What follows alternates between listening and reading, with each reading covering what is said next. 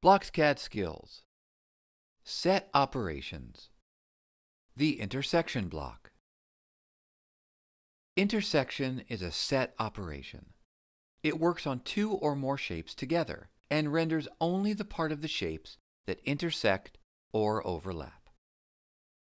To get started, we'll go to the 3D Shapes tab and bring out a sphere and a cube and render them. Notice that the two shapes intersect, or overlap, and part of the cube occupies the same space as part of the sphere. Now go to the Set Operations category and bring out an intersection block. The intersection block needs at least two shapes to be able to work. Note, it doesn't matter what order the shapes go into the block, you'll get the same result either way. Remember at the beginning of this video, we said that intersection is a set operation that renders only the parts of selected shapes that intersect or overlap. So let's put the sphere and the cube into the intersection block.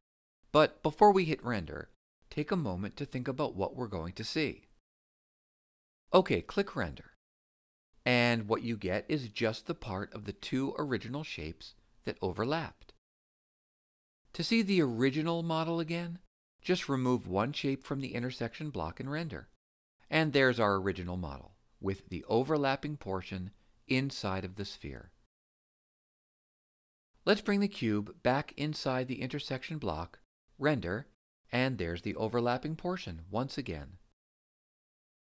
What do you suppose would happen if we take the intersection of two shapes that don't overlap? Well, to do this, we'll need to translate the cube away so that it's no longer touching the sphere. Drag out a translate block and snap it around the cube, like this. We'll translate the cube 10 millimeters along the x-axis and render. Now, no parts of our cube and sphere intersect or overlap. So, what do you think we'll see if we put them into the intersection block and render? Well, since nothing is shared and nothing overlaps, the result is nothing. Nothing intersects, so nothing is rendered. Let's clean up our workspace and prepare it so we can take a look at how intersections work on more than two shapes at a time.